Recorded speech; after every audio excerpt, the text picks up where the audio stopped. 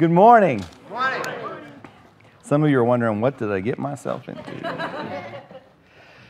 hey, uh, we are at the, uh, at the beginning of, uh, of uh, a time where we're going to go through the book of, of Mark from beginning to end.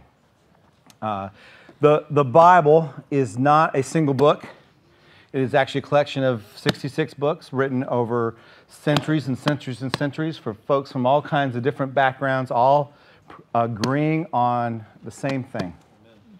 And so we're going to take a look at just one of those books, and it's the book of Mark. If you have a Bible, you'll open it to the book of, of Mark. If you don't, that's fine. You can either just listen or in front of you, uh, uh, if you're not sitting in the front row, that is, there is a. Uh, Bible. There should be a Bible uh, down there that you can borrow. And it's page 707. If you grab one of those Bibles, it's really easy to get to. It's page 707. If you don't have one of those Bibles, that page number will not help you. Uh, which is why we put, they put in chapters and verses so we can all find our, our way around to the same place. While you look up uh, the book of Mark, um, let me give you a little background. Um, Mark, the guy who wrote this book, is the cousin of Barnabas and he traveled shortly with Barnabas and Paul on what we call their first missionary journey. It was the first time that they left their hometown and went from city to city and city to let people know about the good news about Jesus.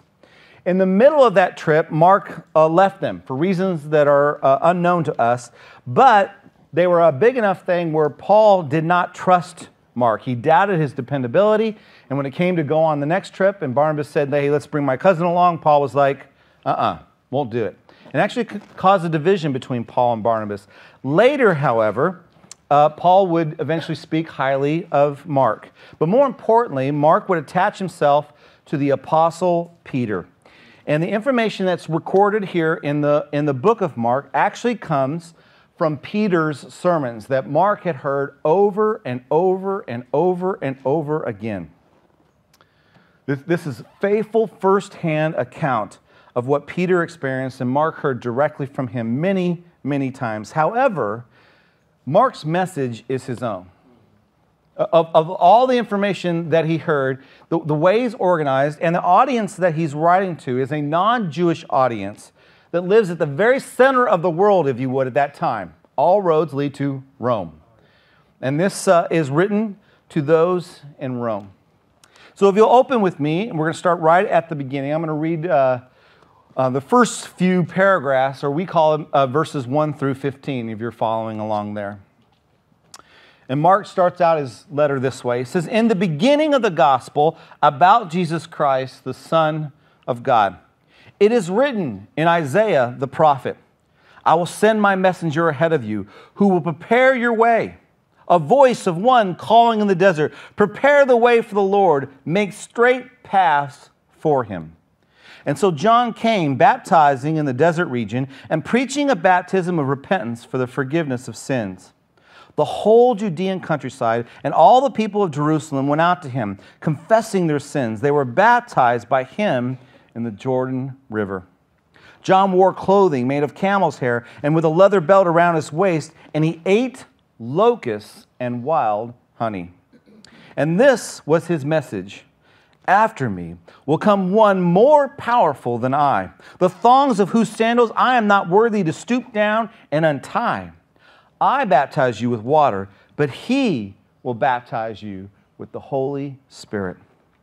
At that time, Jesus came from Nazareth in Galilee and was baptized by John in the Jordan.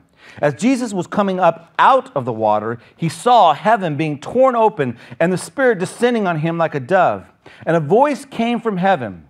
You are my son, whom I love. With you I am well pleased. At once, the Spirit sent him out into the desert. And he was in the desert for 40 days, being tempted by Satan. He was with the wild animals, and angels attended to him. After John was put in prison, Jesus went to Galilee proclaiming the good news of God. The time has come, he said. The kingdom of heaven of God is near. Repent and believe the good news. He is here. He is here. This is Mark's basic message. In, in the very first sentence here, Mark makes a bold claim that is uh, meant to get his audience's attention and to make them want to hear more. Right from the beginning, Mark makes an impression. He declares that he has some evangelion. Now, I'm sure you're looking at your Bible going, evangelion, I don't see that. That's the Greek word that's translated good news. Now, this word was familiar to the non Jewish audience that he write to because it refers to a messenger who would bring news of peace and prosperity in regards to a signed treaty or the winning of the war. Remember, this is a time there's no cell phones, no telephone for that matter, let alone the internet. Infor- information is slow moving. And when your armies, when your folks went off to fight, you could have lost the war months before you found out things are about to change. And so a messenger would be sent to kind of give a, a, report. And when that messenger came through town, everybody would know the messenger has come. Remember, these are small towns, everybody knows everything. But he doesn't tell anybody. He goes and gives a report to the king. And then the king would announce to the people while they're kind of waiting. And when that messenger brought news that the, a treaty had been signed, or more importantly, that the general or the, maybe the king himself has won the war way before the armies return, way before other news is returned, they would call that evangelion.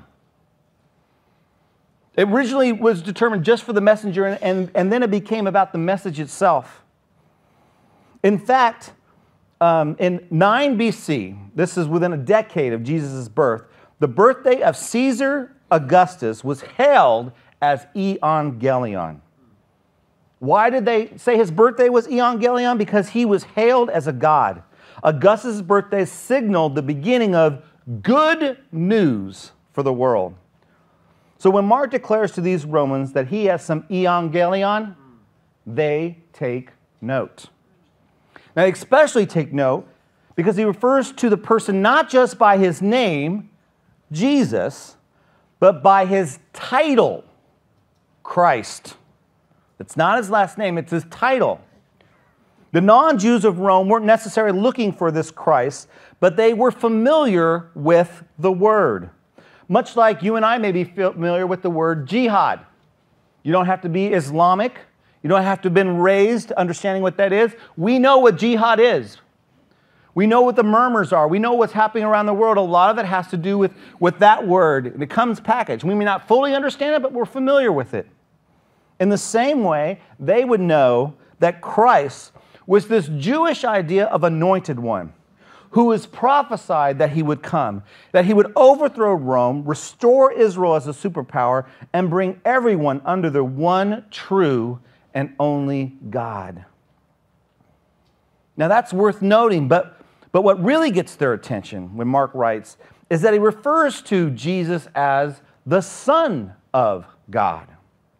Now, the Greeks and Romans believed in many gods, and they also believed that at times these gods would come and live among them. I often already mentioned that Caesar Augustus claimed to be a god. What is unique about Mark's opening statement is that he doesn't just claim that he is the son of a God, but that he was the son of the God. The Roman gods and their sons and daughters on earth were very fallible, you got to understand, and often they weren't very nice. However, the idea that there was only one true God and that his one and only son had come as a conquering hero well, this news was worth serious consideration. After this pretty incredible opening sentence, Mark goes into a, a couple familiar passages to the Jews. They would be familiar that, that Mark quotes both from Isaiah and Malachi. You will see these references in your notes. Now, the, the, in the Bible that you read, you only read the prophet Isaiah, and, and it's very common in this day and time that the greater prophet covers, if you would, the lesser prophet. Isaiah was known as a great prophet, uh, it was one of the greater prophets, and Malachi is the lesser, so they would just claim Isaiah's authorship of both, but it comes from Isaiah and Malachi. Most of the Jewish audience in Rome would understand the correlation directly. They understood that each of these passages referred to prophecies in the Hebrew scriptures, we also call that the Old Testament, that God would send a herald to announce the coming of the Messiah. Now, they would have been taught from their earliest years that this herald would have been Elijah. In fact, if you were to go to a Seder today, that's a celebration of the Passover, you know, the Prince of Egypt movie. When the Jews celebrate the Passover today, at the very end of that celebration, they open the door and they often end with the line, next year in Jerusalem. Now, the reason they do that is because of this prophecy that Elijah would precede the Messiah. So what they're doing is they're opening the door with expectations with hope that he may come in. As a matter of fact, many times if you if you were to sit at a family seder, there's a whole place set up that no one sits at for Elijah. Because the hope and prayer is that Elijah will come and next year we'll all be in Jerusalem under, under the new kingdom. However, for the Gentile or the non Jewish audience that this was written to, they might not have understood the, this absolute connotation, though they probably might have found out from their Jewish friends. But what they did understand was that Jesus didn't just come onto this scene, but he was a fulfillment of something promised that was prophesied centuries before. He is here. After saying that, the, that this prophet, that this, this uh, preceder of Jesus would come, he goes right to telling you who he is. You don't have to have a theological degree. You don't have to have years of knowing how to study the Bible to understand what's going on here. He says, Jesus is the one. You know this Messiah because uh, someone's coming, and now here he is. His name's John. He doesn't tell us vaguely, he tells us specifically about John, who was known as the baptizer. And then he paints a picture of John in a way that the Jews would clearly understand who he was intended to be. See, he's identified as one who lives in the desert. That is a place that God engaged most of the prophets of old. It's a common denominator. What's easy for you and I to read over is also explains that the wardrobe of camel's hair that John wrote and a leather belt. This matches exactly, by the way, the description of Elijah the prophet, the expected one. Now, it's hard to know whether or not the folks in, in Rome, who had not grown up Jews, Jewish for the most part, had heard of John. They may have heard it from, from other Jewish folks, or he may have just been known because he was a pretty critical guy in his day. In fact, Josephus, the secular historical writer, writes about John. And this is what he writes Now, some of the Jews thought that the destruction of Herod's army came from God. Now, notice here, he's not claiming this. He's a secular writer, he's an historical writer, he's not a religious man. He's saying this is what they claimed. And that it was a punishment for what he did against John, called the baptizer, known as the dipper. For Herod had him killed, although he was a good man, and urged the Jews to exert themselves to virtue, both as to justice towards one another and reverence towards God. And having done so, to join together in washing.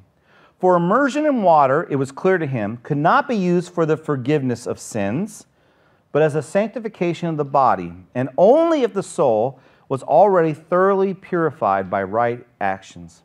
And when others massed about him, for they were generally moved by his, being John's words, Herod, who feared that such strong influence over the people might carry to a revolt, for they, being the crowd, seemed to be ready to do anything he should advise, Herod believed it much better to move now than later and have it raised to a rebellion and engage him in actions that he would regret.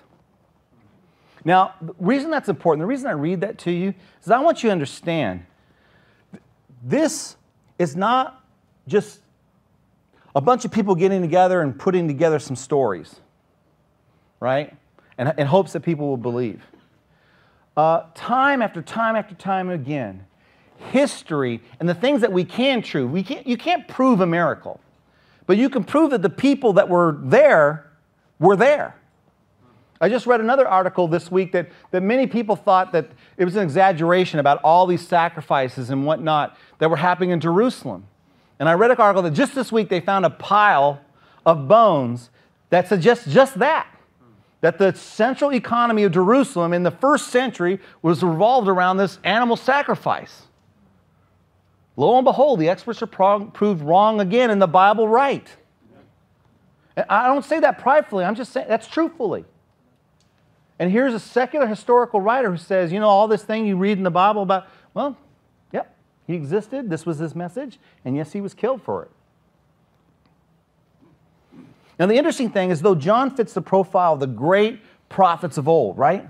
His message is about repent. That's, that's, a, that's a common theme. His, his message is about the Messiah. It is unique, though. It, it is unique because he doesn't talk about the Messiah as way out there. He talks about the Messiah as right around the corner.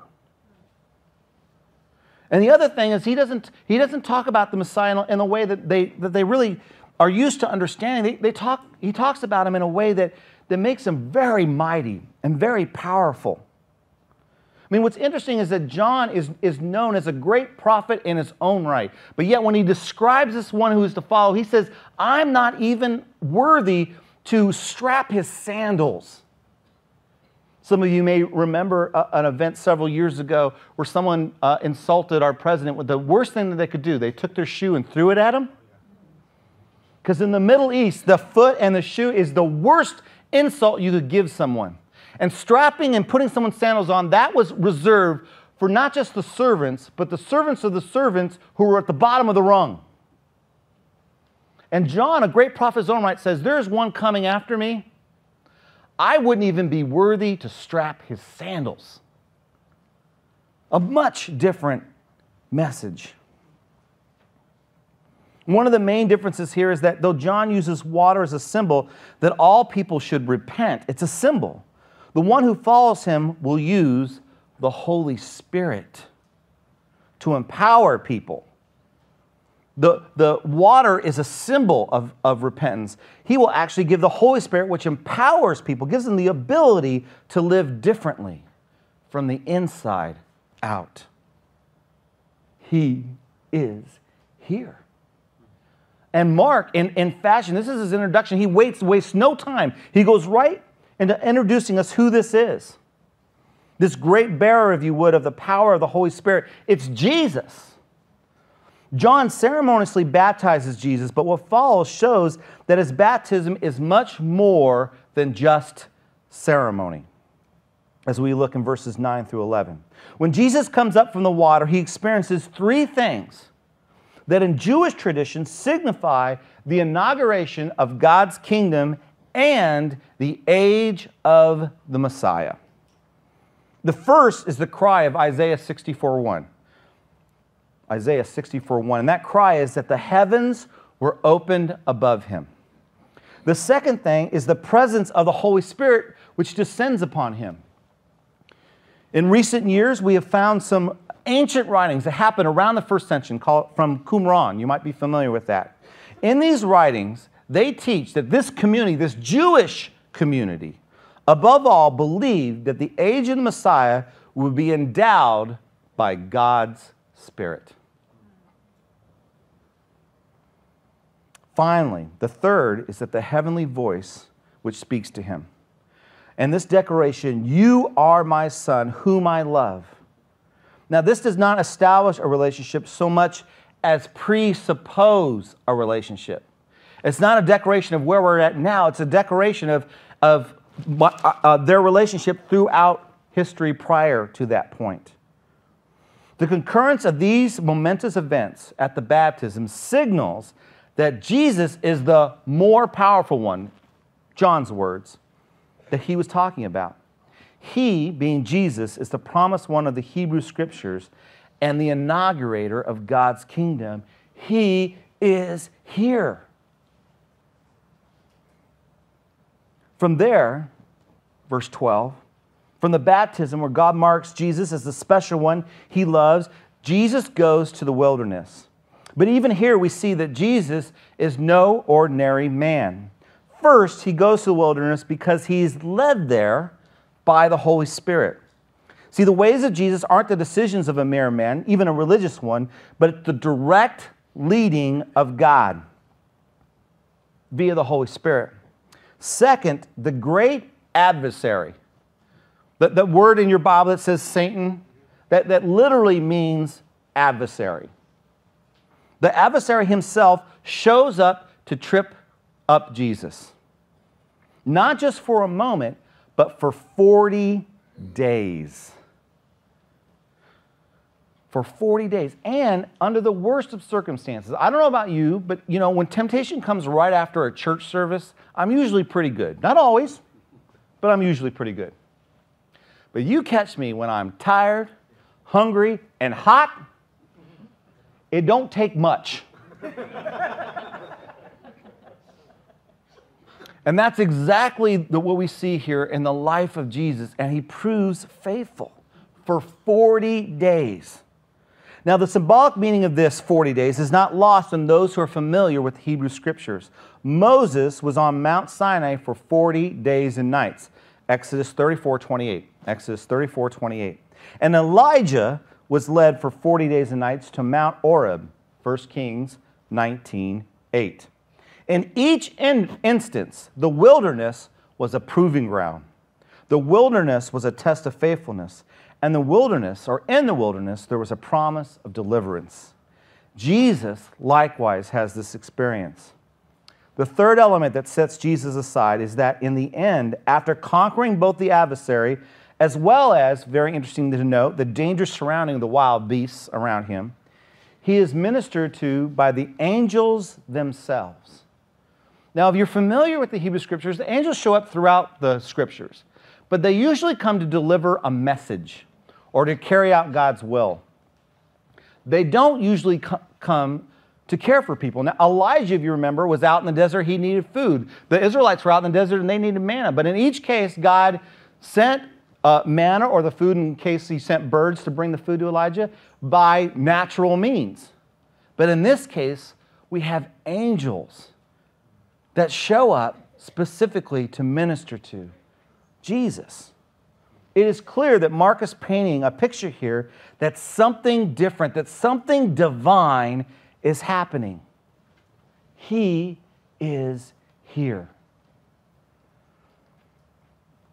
Then in uh, verse 14, Mark ties it all together, and Jesus is preaching. And his message is that he's come to establish the new kingdom God had promised. Mark writes that Jesus shared just this the time has come. The time has come. What time? What time has come? The time for God's kingdom to become preeminent and for the people to truly change, that is, repent and believe the evangelion, that is, the good news that He is here. Now, it's here that we have to pause. And not just because we just got through all our verses. We have to pause because Mark tips his hand here. He tells us right up front who Jesus is and the importance he is in the history of mankind. However, there is something wrong with Mark's claim. And it all boils down to the word expectation. Expectation. Now, when my kids uh, were younger, they took swimming lessons. And uh, at differing levels. And at the end of the week or two of their swimming lessons, um, they all got this little certificate, you know, they had graduated the fish or the sharks or whatever it was. And then they opened up a, a bag of candy and they said each kid could have two pieces of candy. Now, most of the kids were like, uh, certificate and two pieces of candy. But the King kids were like, two pieces of candy? That's great. They're all excited. Why? Well, besides the fact that the King family's a little stingy, you know, one piece of candy a day the week after Halloween, um, it, it just they had a different expectation. They the expectation that candy was a special thing and they didn't get a whole lot of it, and to get two pieces was a big deal. See, how we perceive something often reflects our expectation. For instance, if you were to receive a $2,000 bonus from your work, your expectation would dictate your reaction. So if the bonus came out of the blue, you would be elated at the generous gift. You would be like, yes, this is awesome. But if you had just landed the biggest multi million dollar client that your company ever had, and you were expecting a bonus in excess of $10,000, well, you'd be extremely disappointed at just two. Your and mine preconceived expectations often is the deciding factor on whether or not news is good or bad, or even if it's true or false. Now, I want you to take a moment. I want you to use your imaginations with me and pretend that you're a Jew in the dawn of the first century. Okay? I know it's tough to leave the cell phone and the internet and the air conditioning, all that behind, but let's just do it for a moment. And remember, you live in a foreign occupied territory of Israel. You have seen firsthand and experienced the tyranny of Rome from your earliest days. They are the bad guys. Likewise, you have been taught from childhood that someday God will free the Jewish race from Rome when the Messiah comes. Your father, your grandfather, your mother, your grandmother, and even your rabbi have constantly told you stories about this Messiah and what you can expect. You've heard how God promises in Deuteronomy 33 that the Messiah would restore the fortunes back to Israel. And he would gather all the Jews together and bring them back to their home country of Israel. You've heard careful descriptions that the Messiah would bring worldwide peace, and that according to Isaiah, swords would be turned into plows, and peoples from all nations would come to worship God in his holy temple in Jerusalem. Likewise, the Jews would enter a new age that the prophet of Ezekiel declared that the people would delight in and follow all of God's laws and decrees. And the world would acknowledge that God is the one and only true God. In essence, you have been taught that the Messiah would be like the great king of old, King David but that his reign would be universal, not just a section of the world, universal, and it would bring utopia to the Jews for the rest of eternity. This is what you've been taught from the very, very beginning. This is what you've prayed for. You heard your parents and your grandparents, your, your entire community. And every time something horrible happens, this is the cry of the people. Now, if this is your expectation of Messiah, Imagine someone declares to you, He is here. Imagine they declare to you that He has come. Based on your expectations, what do you think your reaction would be? Confusion? Disappointment? Or perhaps disbelief? Most likely, your first reaction would not be jubilation. Because the declaration, what? Does not match your expectation. Mark's letter paints a vivid picture that Jesus showed himself, if you would, proved himself to be the Messiah with great power and authority, but that he was unexpectedly also the Son of God, who set up a kingdom where he chooses to serve rather than to be served. The church in Rome is first introduced to the evidence that Jesus was the promised Messiah. That's the first half of the book of Mark. And then they have to come face to face with the fact that the Messiah didn't come to fulfill their expectations, but instead to fulfill God's expectation. Uh, hopefully, you're a little bit more understanding now of their interaction with Jesus. Hopefully, you're, you're, you you kind of get a, a grasp. Well, maybe they weren't as crazy as we think they were when Jesus kept telling them over and over who he was and what he was going to do, and they just did not get it. To help, let's fast forward to today. This might be a good chance to excuse yourself. You may not want to hear this part. We're about to go on to a grand journey together as we go through the book of Mark. We're going to experience Jesus up close and personal as we study, as we see him, as we see a portrait of Jesus through the book of Mark. And remember that what you hear is, is for the most part, it's Peter's firsthand account. He was there from the beginning, and he was even in that inner circle. However, I warn you, whether you're new to Jesus, you're just checking out this Jesus thing, or you've heard this story several times before, you need to be careful. I need to be careful of our expectations because they can deceive you. See, we all come, myself included, with expectation or basic beliefs of what God should be like, and therefore what His Son should teach and be like. These expectations probably and usually seem good and reasonable, not only to you, but probably to those around you. For instance, you may expect that if God is real, He will present Himself in a way that you can measure, test, and prove to be true over and over again in the same way. I mean, if God is real, we should be able to apply the scientific method to Him. Or you may have the expectation that if God is good, He will never allow anything bad to happen to good people. Or you may have the expectation that if God loves us, He will protect us from anything really bad, and, he, and we will know only blessing all the days of our lives. Or perhaps you have the same expectation that most of us American bred people do, and I'm talking about the folks in the church, that a good, loving, and true God shows himself to be all those things by using his power to make my life work. His job is to make me happy.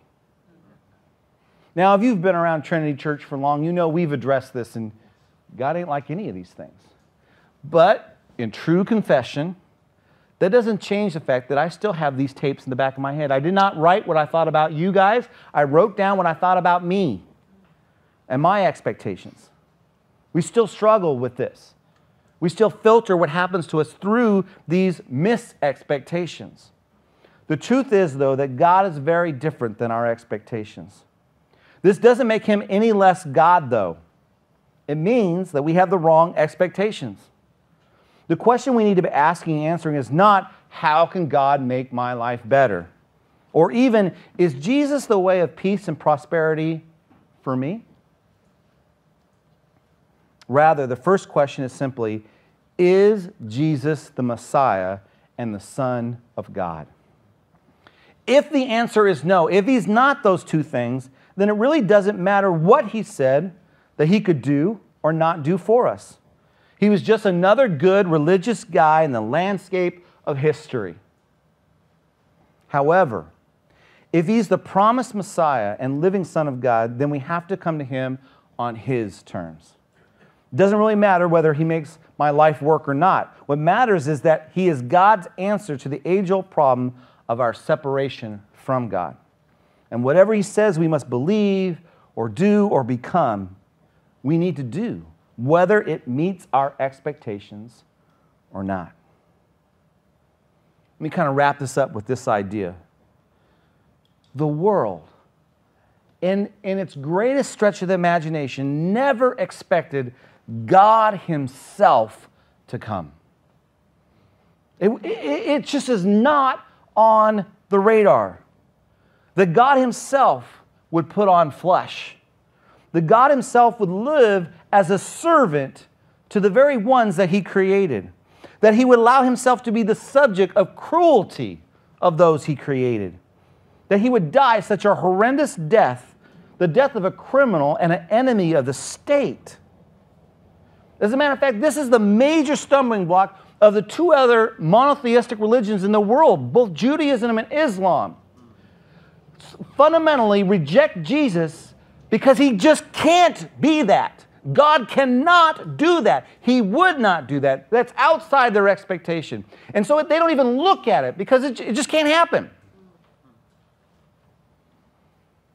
But the question for you and I isn't for us fundamentally, it just can't happen because God doesn't meet my expectation. Fundamentally, is did it happen? Because if it did, we need to change our expectation. The very, this very idea that God entered history that way for you and I, because He loved us, should rock our world. And if it is true, it should be enough to begin to change the rest of our expectations. So here's my challenge for you, for me. I'm, I'm not asking you to buy into this lock, stock, and barrel.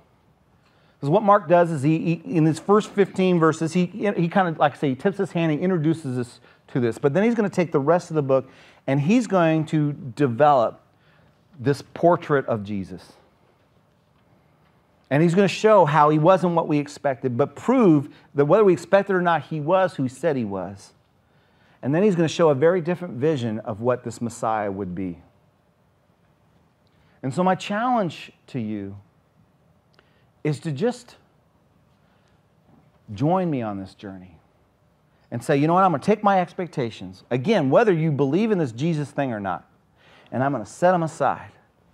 And I'm just going to hear, I'm just want to experience this portrait of Jesus. And then I'm going to weigh just what I hear and see, whether or not it's true.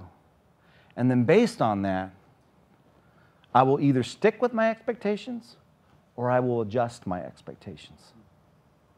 Is that fair? Let me pray for us. Father God, I thank you for your word. I don't always understand it, dear God, but I guess when I truly open my heart, it's not as confusing as I thought. so I pray, dear Lord, um, as people are here from all different places, that you do the work that only you can do in our heart and lives. That you pull back the veil of our expectations and reveal yourself. And, and probably more importantly, dear God, that because you're into revealing yourself, you have no problem with that. We have problem with receiving that. And so I pray, dear God, that you, by the power of your Holy Spirit, uh, may help us to see and then have the courage not to run the other direction. If you'll keep your eyes closed and your heads bowed just for a second, I'd like to uh, pray for you. If you're here uh, today and you're either new to this Jesus deal or, quite frankly, you don't really buy it at all. But you're willing, if God is real, you're willing to have the eyes of your soul opened and to experience Him.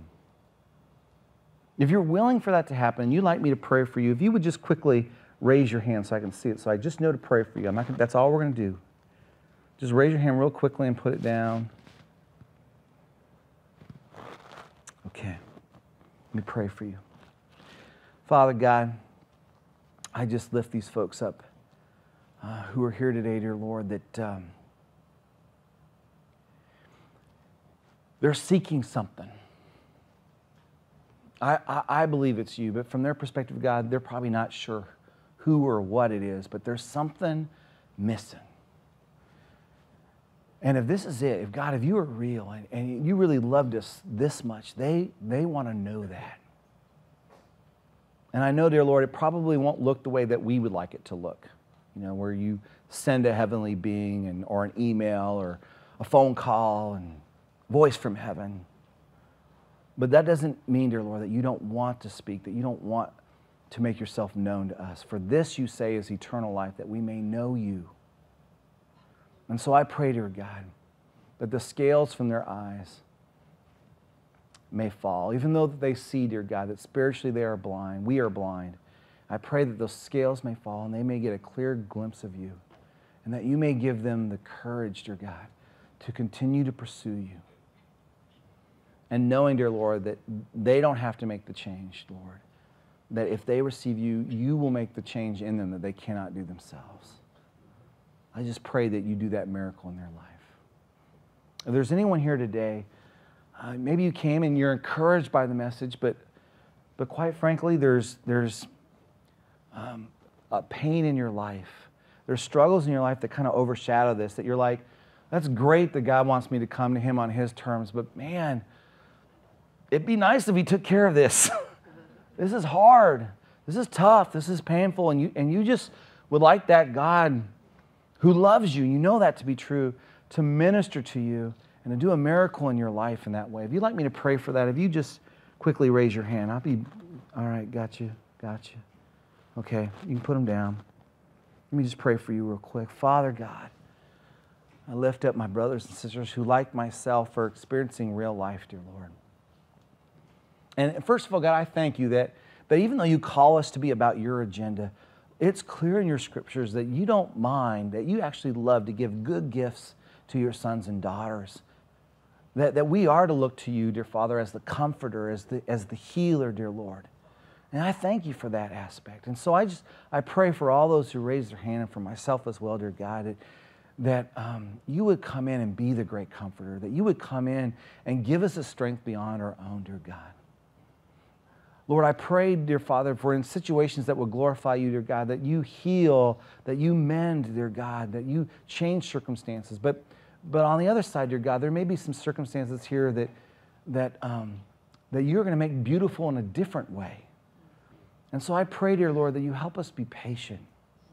You help us to have the true belief that knowing that you are a good God and that kind of like little children, we got to eat our vegetables right now. Help us have that trust in a good daddy. Give us a strength that's not our own, dear Father. Give us peace in the midst of the storm. And lastly, if, if this time you just want um, if you want to see Jesus become not an idea, but a real um, person that you connected to, that you know on a daily basis, if you're hoping that God will continue that and use this, this season of life to do that in your life, if you'll just raise your hand so I can pray for you real quickly. If that's what your desire of your heart is, I see it. I see it. Okay. All right. Anyone else? Okay, you can put them down. Let me just pray for you. Father God, like I said before, uh, you said, Jesus said, that eternal life is knowing you, Jesus, and the one who sent you, the Father. That's what eternal life is. Not something that happens after we die, but something that happens now. It's knowing you. And God, I desire, and, and those who rose their hands, whether physically or emotionally, dear Father, we desire to know you, not not in a way like we know about George Washington, but in a very real way where I met with him this morning. He is active and alive in my heart and my life. I can hear him. He guides me in a real way. We desire to know you more. We desire to experience and, your love more. Would you do that work in and through us? And Lord, I just pray, I thank you that where we are weak, where we want to run from your holy presence, um, you can do in and through us what we cannot do ourselves. That you'll take us even when we want to run away. And so I pray when that reaction comes that you pursue us and you catch us. And we may catch ourselves, dear Father, and turn around. And even in the midst of our worst moments, know that you love your children who love you in back. Help us love you. I pray this in the name of our Lord and Savior, Jesus Christ. Amen.